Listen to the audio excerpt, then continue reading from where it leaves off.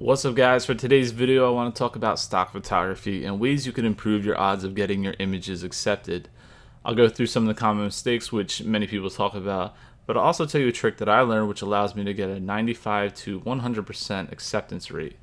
I remember when I submitted my first 10 images to Shutterstock and um, I pulled out the top 10 images out of hundreds of photos that I had.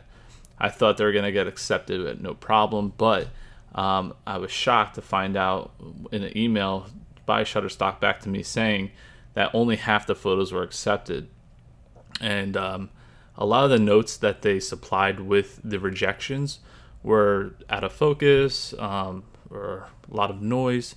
And um, I, I, was kind of I was kind of flustered and, and, and confused because I was like, all right, I took these pictures at ISO 100. They look sharp on my screen and then it dawned on me I was actually uploading images at full resolution, and sometimes I even upscaled the photos a little bit um, because I thought I wanted to supply them the largest file possible. And that was hurting me and hurting my chances of getting the photos accepted. So this is a trick that I learned um, to really increase my acceptance rate was to just cut the file size in half.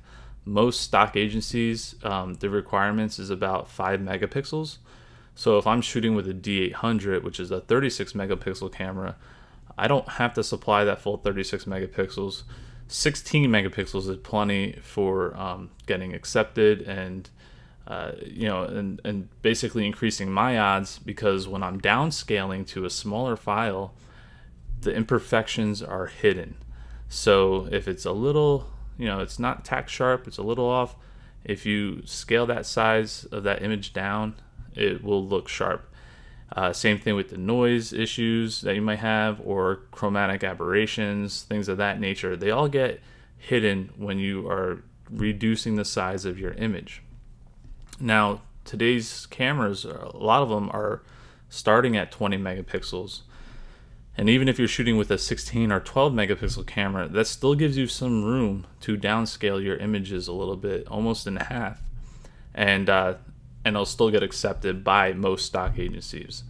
So that is probably the biggest tip that I could give you with stock agencies and, and getting that acceptance rate to be really high on your end.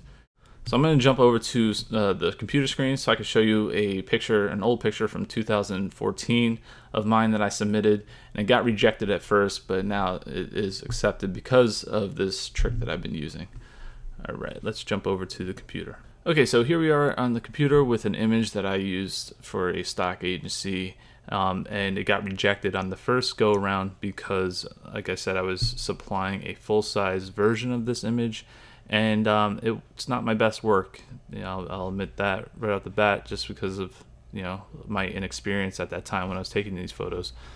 Um, it's a pretty cool photo. I like the, the shot and everything like that but as far as the focus and everything like that I definitely could do a lot better uh, nowadays. And I just want to show you, if we zoom in here, um, on the right side is a downscaled version about half the size of this photo and this is the full size version so if we look at these rocks they look decently sharp but they're not tack sharp um, I mean we got a lot of movement in the water which was intentional but um, and if we go in a little further, which a lot of stock agencies will check your images beyond 100%, so that's something to take in consideration. Um, it's it's definitely soft. Um, I obviously applied probably too much noise uh, reduction uh, when I was creating this photo back in the day. Hence the reason why it is so soft back here. And one of the reasons this got rejected was they said it was out of focus. And that's probably due to the noise reduction I put onto this photo and uh, full size, it, it, definitely looks soft. Now with the downscaled version at one to one, it looks a little sharper. And if we zoom in, even at two to one, these rocks still appear to be sharp. So this is why I downscale because it hides um, these imperfections that might be in the full size version.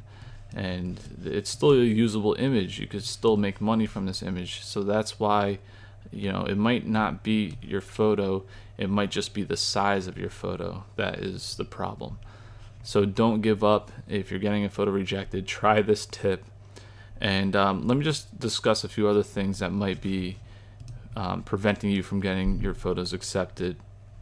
There's a whole list that they typically put on their website. I'll just go through a lot of the common things. Um, one is a lack of a model release or a property release. So if you're taking pictures of people, you definitely need a model release from them. If you go into like a city or something like that and there's a particular building that you're taking pictures of, they may or may not require a property release when you go to upload that photo. Um, it's hard to tell. What I like to do is when I take cityscapes, I upload them. If they get rejected due to a property release, then then I know. But um, sometimes you don't know until you try it. A lot of times though, like skylines of New York City, stuff like that, they typically get accepted. I have a lot of photos of the tribute in light uh, for 9/11, and I haven't had too many issues. It's kind of odd because certain stock agencies have different rules. So something that might get accepted on Shutterstock might not get accepted on Adobe or um, CanStock or or one of the other ones. They it, it kind of varies. So you kind of have to just go trial and error with each stock agencies. And I'll put a full list of all the stock agencies in my description below for those that are interested in checking them out. The other thing that people tend to do um, wrong when they go to submit photos is the exposure. It might be a little underexposed. Sometimes they're overexposed, and you got like blown out highlights. So you kind of want to make sure it's a pretty balanced um, exposure in your photo. Uh, we already talked about being out of focus and noise and how to kind of mitigate that by reducing the size of your image. Because uh, I do a lot of night photography and that has noise in it regardless of you know some of the techniques I use. But when it's scaled down, it's very minimal and they typically get accepted. Uh, another thing that people commonly do wrong is uh, white balance. Either their white balance might be really far off you know too blue or too warm or pink or you know or green or whatever the color might be you got to make sure your white balance is dialed in you know with landscape you kind of get a little a little leeway but when you're dealing with people you want to make their you know make sure their skin tones look accurate uh, another problem might be chromatic aberrations and it's pretty easy to fix in Lightroom you just go down to this checkbox down here Oops, I passed it. And check off remove chromatic aberrations. Um, you could go manual if there's some fringing, uh, which I don't have in this photo, but usually it happens around trees. You might get some weird artifacts around the trees. You might have to play with this defringe to kind of fix that up. And if there's a trademark in the photo, so if you are taking pictures of a girl running and this is supposed to be like let's say an exercise picture make sure you photoshop out any trademarks um, like if she had adidas shoes on you want to make sure the adidas logo is photoshopped out and uh, the last thing that i recommend is don't overdo it with the post-processing when you go to the extreme with your post-processing uh, typically it adds noise um, or, or violates you know one of these things on the list so you kind of want to keep it simple and not go crazy with your contrast, things of that nature. Um, if people download their photo and they want to adjust it and post process more, that's on them. Keep yours as simple as possible. So that's it. That's the list right there of the major things that you could be doing wrong and getting rejected with your photos. The last thing I want to touch on with stock photography, if you're hesitant about joining any type of stock agency, and I get it, they pay very little, um, but if you have a high quantity of photos just sitting around not making you money, you might as well throw them up there and get something for them.